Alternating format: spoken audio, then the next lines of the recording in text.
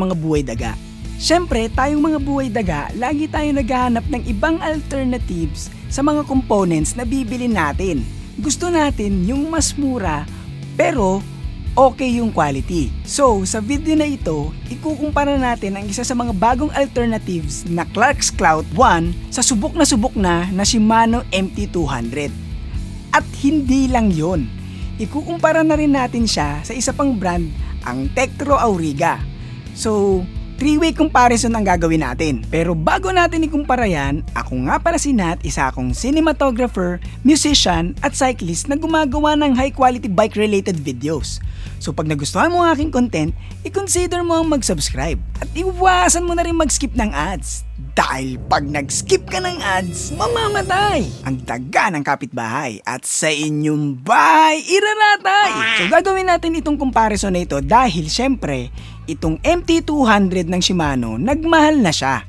Naalala ko nung nabili ito around 1,600 hanggang 2,000 pesos pa lang eh. Ngayon, pumapalo na ang presyo sa 2,800 at 3,000 pesos. Grabe, yung tinaas ng presyo. At hindi lang yun, sobrang hirap maghanap ng stock sobrang pahirapan talaga. So nung lumabas itong Clark's Cloud 1, nagkaroon ng ibang alternative na pwedeng bilhin ng mga tulad nating buhay daga. Meron din tayong isa pang i-compare itong Tektro Auriga. Kaso, ito, hindi ko alam kung makakakita pa kayo nito sa market eh. Pero, ikukumpara na rin natin para may idea rin yung ibang nubwits sa ibang brands. Salamat nga pala kay Papa Jesus dyan sa pagpapahiram ng mga brake sets na ito. Sa kanya lahat to eh. Pagbuhay daga talaga, nanghihiram lang eh. Anyway, about nga pala sa giveaway, bibigyan ko kayo ng update later sa video na to. Abangan nyo yan. So simulan na natin yung comparison. Itong MT200 made out of aluminum yung reservoir niya. Itong Clout, yung pinaka-body niya, ganun din, aluminum din. Pero yung reservoir cap niya, made out of plastic. Tulad ng mga tropa mo. Yung Tektro, Similar sa MT200, halos parehas yung itsura. Gawa din to sa aluminum. Ang gusto ko sa Shimano at Clout 1, parehas yung thread ng bleed port niya sa levers. Hindi katulad nitong Tektro na hindi kasya yung funnel. So kailangan mong gumamit ng ibang fittings para ma-bleed to. Hassle! Ito pa pala, yung bleed cap ng Shimano, allen keys lang ang kailangan mo para matanggal. Itong Clout 1 at Tektro medyo pasaway.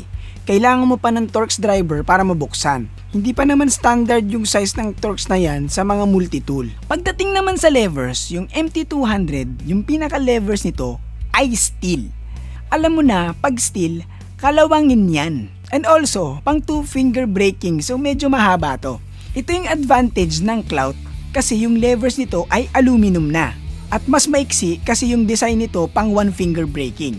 Pwede naman two finger pero mas pang one finger ito. Mas safe yan kasi yung ibang daliri mo nasa grips pa rin, kaya mas less yung chance na mag-slip yung kamay mo sa grips. Yung Tektro, ganun din. Mas maiksi yung lever, pang one finger braking din. At gawa din ito sa aluminum, so less corrosion. Diyan talo yung MT200 kasi steel nga yung levers nito. So may chance na kalawangin yan. Tsaka pag acidic ka, usually nagkakaroon ng corrosion yan eh. Though sa akin, hindi kasi ako acidic eh. So hindi ko pa na-experience yung ganun sa aluminum. Hindi ko sure kung magkokorode din siya sa acidic na kamay eh. So, comment nyo naman sa babaeng experience nyo kung nagkokorode din yung aluminum sa acidic na kamay. So, ito yung itsura ng mga levers side by side. So, kung titignan mo yung haba ng levers from pivot point, mas mahaba talaga yung MT200 eh. Tapos, mas maiksi lang ng konti yung clout. At pinakamaiksi naman, yung Tektro. Yung reach adjustment nilang tatlo pareha sa lahat na gumagamit ng 2mm hex key. Expect mo na yan sa mga ganitong price range. Yung mga mas high-end kasi, may mga knobs na you can adjust on the fly. Hindi mo na kailangan ng hex key. So itong mga to, alam mo na, budgeted kaya ganyan. Pero, carry lang yan. Kasi, usually, adjust and forget naman yan eh pag okay na. Yung clamp nilang tatlo, hindi siya yung two-piece na nabubuka tulad ng ibang higher-end models. Ang magiging problema mo dito, kailangan mong tanggalin yung grips or yung ibang levers like sa case ko, meron akong dropper. So, tanggal muna yan bago mo makabit to. Buti na lang itong grips ko ay yung lock-on grips ng weapon kaya madaling tanggalin. Kung gusto nyo ng ganitong grips, ililink ko na lang sa description. Yung length ng mga hose, hindi ko na masukat kasi nabawasan na yata itong mga to eh. Pero usually, pag bumili ka ng brand nyo niyan, sapat naman yung haba niyan. Actually, sobra pa nga eh ang haba. Sa package, lagi namang may kasamang mga fittings, olives, tsaka kung ano-ano pa. So, pag gusto mong iksian yung mga host, pwedeng pwede. Pero, dapat marunong kang mag-bleed. May video tayo niyan, lililik ko sa cards at sa description. Ito pala, ang kinagandahan pa pala nitong Clark's Cloud 1. Pag binili mo siya, kasama na yung rotors. So, hindi ganun sa MT200 sa Shimano eh. Ewan ko sa Tektro, pero kasi itong Clark's Cloud 1, kasama na talaga yung rotor niya. Yan, pares yan. So bago tayo pumunta sa caliper, magpa-shoutout muna tayo. Shoutout nga pala kay Night Deluxe MC at sa crush niyang si Maria Syra, kay Moose, Bricks Nelson, Alexander PH, Dennis Aburques, Alexis Pasco, Ken Marty Matias, John Looper Parahinog, Gentel Duran, Lawrence Cortex, Al Tejerero, Leonilo Valenzuela, Nico Coraza, Kyle Adsuara, Mac Bantigi, Alex and Annalisa Oderon, buhay daga ng London. Uy, may mga nanonood sa atin sa London. Anli Bike PH, Gilbert Morcilla, Edna Kokoy, Cyrus Casella, Kuya Brent, Aris Manlunas, Yep Breeze, Francis Miku, Kenneth C, Uncle Tej, Mistways, William Borja, Nase Mansayon, Vince Vlog, Raymond Crescencia, Michael Christian Masaho, Dave Ishiro, Bikers lang sa Kalam, Edwin Bascos, J90, Pisanite Team Bikers ng Tiaong Quezon, Ralph J. Borhal ng Basilan Province, Brett Wallace, Arjan Arlos from Qatar, Eman Dequila, Daniel De Lima, Miles Onate, Karen Angala, Edron Tolentino, Mac Albert J. Simpante, Espirikitik the Explorer, Ken Magat, N3R, Langizard Place, at si Ancestral X. Sa mga na-shoutout, share nyo naman yung video. Kung gusto nyo ma-shoutout, lagay nyo lang hashtag shoutout. Pag nali ang nilagay nyo, hindi kayo ma-shoutout. Alam nyo na yan. So, punta tayo sa caliper. Dual piston lahat ng mga calipers na to. So for XCUs, goods na goods yan. Of course, yung MT200 gawa sa aluminum yung pinaka-body niya. Standard naman siguro na aluminum yung mga caliper dahil yung Cloud 1 at Tektro same na aluminum din yung pinaka-body nila. ba? Sana sinabi ko na lang aluminum sila lahat. Lahat sila two pieces yung construction. So kung titignan mo, may hati yan na gina-join ng dalawang malaking bolts. May iba kasing mga caliper na buo na yung pagka-CNC nila, like yung Zoom na brand. Speaking of Zoom na brand, meron tayo nung Zoom X-Tech na hydraulic caliper, pero cable actuated. Hindi na natin siya sinama sa comparison kasi medyo iba siya sa tatlo na to. So gawan na lang natin ng sariling review. Gusto nyo ba yon? Comment nyo lang sa baba. Ang unang pinagkaiba na napansin ko sa mga calipers na ito ay yung bleed ports nila. Tulad ng bleed ports sa levers, medyo iba din yung nandito sa caliper eh. Kasi itong MT200, yung bleed port niya, yung ganito. Tapos, para mabuksan ito, meron siyang Allen screw na pinaka-valve lock niya. Yung Cloud 1 at Tektro, yung pinaka-bleed port niya, yun din yung pinaka-valve lock niya. So, kailangan mong tanggalin yung screw na yan para makabit mo yung fittings. Medyo hassle to lalo na kung hindi ka kumpleto ng mga fittings. So dapat pag bibili ka ng bleeding kit, yung halos kumpleto na para pag dumating yung sitwasyon na ganito, meron kang bubunutin na mga tools. So dahil iba yung ports, syempre, medyo iba yung procedure kung paano mo to i-bleed. Mas mahirap ng konti itong dalawang to. Pero manageable naman. Kaya mas madaling i-maintain yung MT200 kesa sa dalawang ito.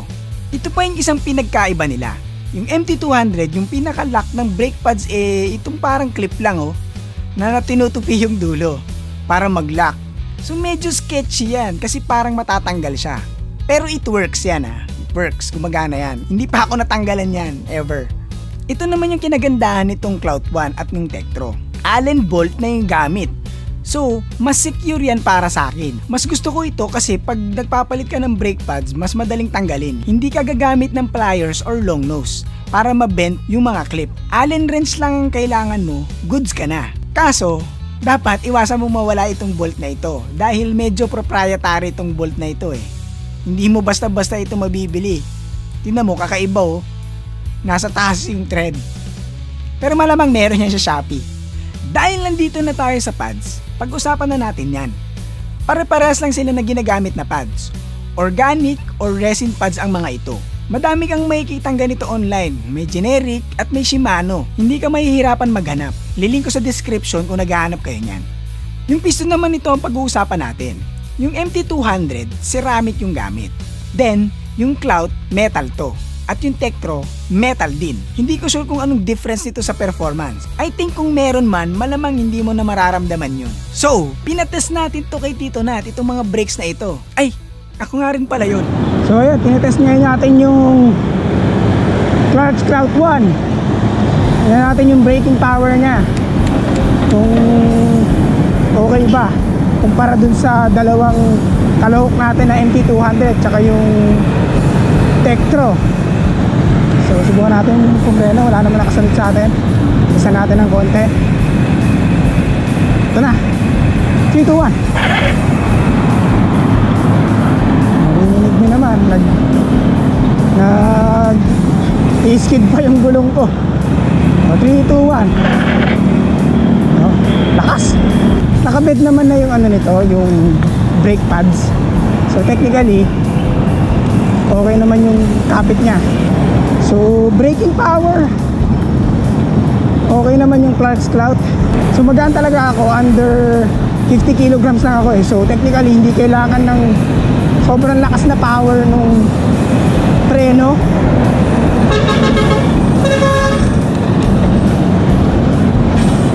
So, so, so itong Clark's Clout relatively malakas naman yung preno niya. May konting modulation din, konting-konti lang, pero usually on and off lang talaga itong mga preno na ganito eh. Siyempre, expect mo naman din sa presyo. Dito. So, mga emergency stop na ganyan, nakakainto naman tayo. Ang nagustuhan ko din dito sa Clark's Cloud, siguro nabanggit ko na rin yung sa mini video na yan, yung feel ng lever niya, hindi yung actual na pindot ha, pero yung haba ng lever niya, dahil pang one finger talaga yung lever niya, mas mas komportableng pindutin. Kasi, yun nga eh, sanay ako ng one finger lang. Eh, dahil yung MT200, tsaka yung M315 na gamit ko, mahaba yung lever niya, pang two finger talaga yon So medyo awkward lang ng konti lang naman. Pero itong Clark's Cloud dahil pang one finger talaga siya. Pwede naman din two. Pero pang one finger talaga siya. Sarap sa kamay, parang at home yung daliri mo. 'Di ba? Halos parehas lang yung performance. Nag-skid din yung gulong sa likod. So it means malakas din talaga. Yung piga, hindi ko pa na-experience yung parang hindi daw pantay yung feel. Siguro mas maganda yung pagka-bleed nitong unit na nasa akin. Ewan ko lang sa katagalan. So ayan guys, it's a new day. Para i-test naman natin tong kalawang kalahok natin. Actually, ito yung primary na comparison eh. Dahil ito yung MT200 ng Shimano. So, tingnan ko kung merong tao sa likod. Wala. So, pipreno tayo. Tingnan natin gano'ng kalakas. 3, 2, 1. Oh, nice. Same na same halos yung braking power eh. Sabi ko nga dun sa may Clark's test, uh, magaan, na magaan kasi ako eh. Halos below 50 kilograms. So, hindi talaga kailangan ng super lakas na braking power nung mga brakes. Pero ito nga, pag pinipreno ko tong MT200, halos parehas sila nung, nung lakas. Tapos yung feel ng levers, halos same. Sa bagay, hindi ko naman na kailangan i-review itong MT200 kasi subok na subok na talaga to eh. Salamat kay Papa Jesus sa pagpapairam ng mga brake sets. So yung tatlong brake sets natin, sabi ko nga, inaram sa atin ni Papa Jesus. Anyway, lever feel, parehas lang. May konting-konting modulation, makaka-modulate ka, makaka-feather ka. Pero, mas mahaba kasi yung lever nito kumpara doon sa Clarks. Sa Clout. Kaya ang tendency kung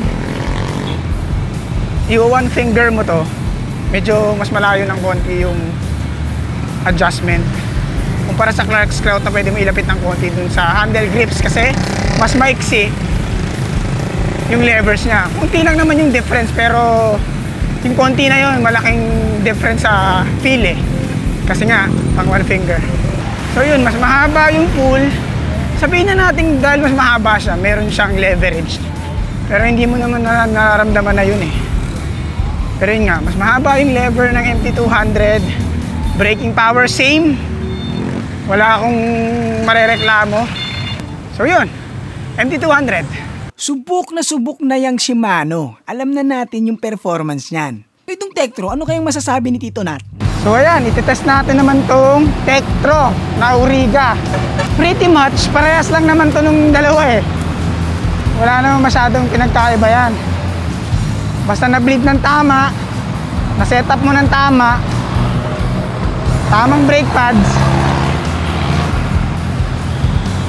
sa preno yan, tulad nito. Oh, nag-skid din. So, may preno naman ng malakas. Okay naman siya. Pag pinreno ko yung likod, nag-skid din eh. Oh. Pag pinreno ko naman yung harap, oh, kung may preno, lakas. Ang lakas ng preno. Grabe. Pero pretty much parehas lang yung lakas ng mga ibang ano natin, brakes natin. Yung MT200 tsaka yung Clark's Cloud 1. Ang sarap din mag-compare talaga ng mga preno eh. Lalo na kung meron ganong lahat. Kasi nakikita mo yung difference eh. Oh. Yung lakas yung feel. Pero ang totoo, sa tatlo, ang nagustuhan kong lever, dahil itong Tektro na to, maiksi yung lever. Mas gusto ko siya, pang one finger talaga. Anyway, yun nga, dahil mas maiksi yung lever nitong Tektro, sa tatlo, ito yung pinaka-favorite ko na lever feel kasi pang one finger talaga siya maiksi. Mas at home. Kumbaga, mas at home yung daliri mo. So, okay naman din talaga ako doon sa dalawang una kasi nasi-set up ko naman yan dito eh. Pero, Siyempre ito, dahil dinesign siya for one finger, which is ako eh, one finger break, braking talaga ang gusto ko. Saktong-sakto siya, lakas. Lakas ng preno. So same din. Pero mas nagustuhan ko yung levers talaga nitong Tektro. Maiksi kasi pang one finger lang. Sarap gamitin. Yun lang, mahirap i-bleed. So that concludes our test. Pretty much okay silang mga brakes. May mga ibang cons pero manageable naman. So yung clout, pwedeng pwede na alternative yan para sa Shimano. Yung Tektro, mahirap maghanap kasi nito eh. Alam ko may ibang version ng Tektro na kapantay nito, wala lang kami nun kaya hindi ko na-test. Pero at least meron kayong idea kung ano yung Tektro. About naman sa giveaway, next video irarapol na natin yung magiging winners.